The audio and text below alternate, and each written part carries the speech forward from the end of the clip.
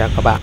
À, hôm nay à, trời nó mưa quá trời mưa. Mà vui quá nên là vui quá là vui nên là mình cũng không có mặc áo mưa. Đi đường không có mặc áo mưa nữa các bạn. À, vui là sao? Là hôm nay mình có cái dịp mà giao lưu với một bạn thân. Mình cũng biết là nó à, có cái xe mô tô như vậy mà hôm nay gặp nó nó mới mang ra thì hai đứa đổi cho nhau chạy. Thì mình cũng nói uh, sơ sơ thôi. Hôm nay thì ờ, do là bạn bè gặp nhau lâu ngày thôi còn nói chuyện thôi còn cái thời gian mà chạy xe cũng được nhiều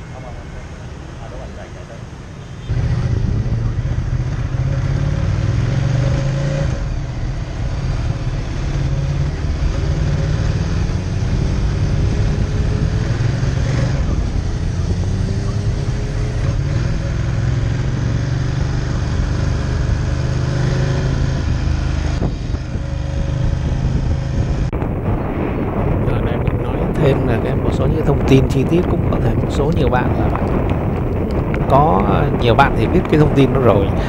À, cái xe nó là xe gì rồi nhưng mà à, cũng à, một số bạn thì chưa nhưng mà mình cũng không có muốn là PR quảng cáo cho cái hãng bên kia đâu nhưng mà mình cũng chỉ đưa ra ở cái bài này mình cũng chỉ đưa ra là cái cảm nhận à, giữa một cái chiếc mô tô của mình đang chạy là một chiếc 650cc phân khối nha và một chiếc 1262 phân khối. Thì à, một số những cái thông tin à, cơ bản để các bạn có thể mà nắm sơ sơ về còn nhiều bạn biết rồi thì không nói nhưng mà mình nói là một số thông tin cơ bản như sau. Là cái chiếc kia kìa chiếc thằng bạn mình đó là nó à, có cái công suất của nó là một khoảng gần 150 mã lực các bạn. Nhưng mà cái điều kinh khủng của nó mà mọi người nhiều người chạy đã từng gọi như là biết được đó, đó là cái thóc của nó nha. Có nghĩa là cái gọi là cái cái newton mét của nó mình nói là cái gì cái um, tự nhiên mình quên mất. Nhưng mà nó là cái thóc của nó cái thóc của của chiếc của mình á, là 62 à, newton mét nha các bạn còn cái chiếc mà thằng bạn kia của mình là nó 100 hoặc 130 à, newton mét có nghĩa là gần như là nó tất cả các thông số nó, nó gấp đôi chiếc xe của mình hết. À, tuy nhiên nó có điều đáng nói nữa là cái trọng lượng của cái xe cái trọng lượng của nó là chiếc kia là cũng khoảng chừng 220 230 là hết rồi. Đó. còn cái xe mình là cũng chỉ 220 đó. Nên là vì vậy là tương quan là cái sức mạnh của nó rất lớn nhưng mà trên một cái xác xe thì nó gọi là nó bằng với cái xe của mình. À, mình cũng nói sơ sơ được cái điều kỳ lạ của cái um, cái dòng xe đó là không mình không hiểu làm sao mà bây giờ là người ta lại chế ra nhiều cái dòng xe rất là lạ. Nó là cái dòng lai giữa à, sport và à, cruiser nha các bạn. Cái chiếc mà mình chạy lúc nãy là lai giữa sport và cruiser. Đó, cái đó là một cái ý tưởng cũng hay lắm. Nhưng mà mình cũng nói thực ra là nó cũng hai cái trường phái nó không thể nào nó nó hòa hợp được với nhau cả. Nhưng mà tại sao cái hãng nó lại làm ra cái cái chiếc xe như vậy? Mà lượng người thì coi như là cũng rất là nhiều hâm mộ và nó bán cũng khá là chạy trên thị trường mặc dù nó là cái xe rất là đắt tiền. Thôi để hôm nào thì mình mượn rồi mình chạy sẽ có cảm nhận nhiều hơn. Nhưng mà bây giờ là nói về riêng cái con quái vật đó so với lại à, à, con em thằng em út. À, em út là CB 650F 650 C này nha. Thì à, nói về cái con quái vật kia thì nó có 3 điểm. Ngày hôm nay mình mình mình có 3 điểm à, cảm nhận về cái, cái con quái vật đó nha.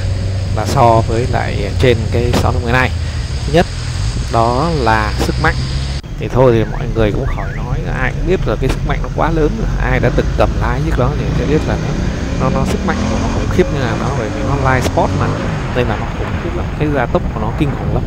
À, cái đó là sức mạnh đó là làm cho điều mà làm cho mình rất là bàng hoàng nha. Khi mà cầm lái nó là khi cái, cái, khi gọi là cái gì cái cái cái nội lực của nó rất là khủng khiếp. Rồi thì nó mình không bàn thêm. Bây giờ có cái là là hai cái điểm nữa là điểm thứ hai đó là cái đầu của nó nha các bạn Tay lái nhẹ quá Tay lái nhẹ quá Quá nhẹ luôn Dễ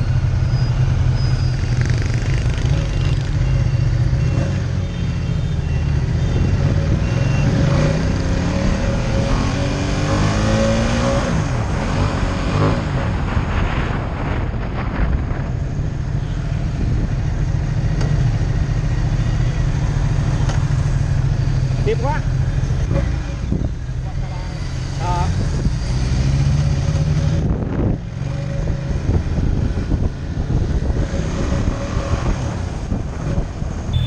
mình rất là bàng hoàng luôn. Mình nói là mình vô cùng bàng hoàng bởi vì cái đầu của cái xe đó nó nhẹ khủng khiếp luôn. Nó nhẹ đến độ mà mình nói mình chưa bao giờ mà lên trên một cái xe mô tô mà mình đánh cái tay lái qua lại á.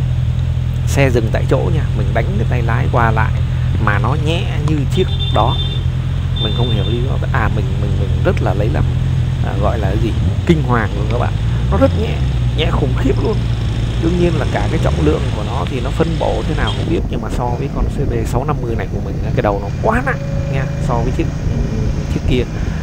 Nó là cái cái gọi là cái gì? Cái cái, cái trọng lượng rồi cái sức mạnh của cái xe rồi nói chung là tất cả nội lực của nó. Nhưng mà cái đầu của cái xe nó quá là nhẹ luôn các bạn cực kỳ nhẹ. Mình phải nói là lúc mà cảm nhận khi mà lên mà chạy đề ba một cái là mình cảm thấy giống như là à, cái gì ờ, một cái gì đó khủng khiếp lắm một sự kỳ lạ cực kỳ là gọi là cái gì? À, không bàng hoàng luôn. Ừ. là về cái, cái, cái đầu của cái xe nó quá nhẹ quá cái đầu xe nhẹ lắm. Rồi đến cái cuối cùng nha đến cái cuối cùng là về chiếc xe quái dị đó thì mình cũng xin nói thêm là nó làm cho mình rất là thấy kỳ lạ là bởi vì cái tư thế ngồi của nó cái tư thế ngồi của nó là cong vòng như vậy mình ngồi cruiser thế nào nó ngồi như vậy đúng không? Đó ngồi dựng đứng thẳng ngược lên như vậy. Nhưng mà với một cái tư thế như vậy thì không thể nào chạy sport được nha các bạn. Không thể nào không nên chạy với tốc độ sport mà nó chạy được tốc độ sport. Tốc độ cao của nó nhất là trên gọi là cái gì? À, nhà thông số nhà sản xuất đó, là 270 mấy km giờ thì thôi mình cũng không biết nhưng mà chạy 200 mà coi như là ngồi cái tư thế thế mà dựng đứng dựng ngược lên thì mình sẽ cảm nhận là rất mệt nha các bạn. Lý do tại sao mà chiếc sport làm chúng ta cứ nằm rạp trên xe đó có nhiều yếu tố lắm. Thứ nhất là cảm nhận chúng ta cảm thấy là rất là yên tâm vững vàng một cách coi như là ôm cái xe chạy mà. Nên là khi mà đạt tốc độ 200 200 hơn tốc độ cao thì à, nó cảm thấy rất là yên tâm. Còn chiếc nách như của mình đang chạy này thì tốc độ chỉ cần lên khoảng chừng 200 thôi là cảm thấy là coi là rất cũng khá là là ừ, anh em chạy cruiser thì chắc cũng hiểu ờ, cái ý mình nói. Thật ra đi cruiser dưới 100 km giờ nha các bạn dưới 100 km giờ thôi chứ còn trên trăm là bắt đầu gió nó mình ngồi cái cái tư thế ngồi mà dựng đứng rồi nên là gió nó tát vào trong người là uh, nó nó nó nó cảm thấy là cũng nguy hiểm lắm rất là rất là nguy hiểm. Nên về vậy là khi mà đi cruiser là mình thấy là cứ dưới trăm thôi là ok rồi là hay lắm là đẹp lắm. Còn cái thằng khủng cái thằng quái dị này nha các bạn là nó trên 200 nên là mình nghĩ không chả hiểu sao mà người ta có thể mà ngồi trên cái xe này mà chạy trên 200 km giờ được. Mình cái đó là hầu như là không thể luôn các bạn. Nhưng mà trên trái đất này nó đã tồn tại cái dạng xe như vậy. Đây đó là cái chiếc xe quái dị mà mình đang nói với các bạn mà. À, vì vậy nên là đó là ba cái điểm à, quan trọng mà mình cảm nhận à, trên cái con quái vật. À, ừ, đó là cái sự so sánh giữa chiếc xe của mình với lại cái à, chiếc xe của bạn mình. Nên là hôm nay làm một cái bài à, cái gì à, cảm nhận nhỏ nhỏ để à, cái gì khoe với anh em. Thôi thì à, à tạm dừng đến đây nha à,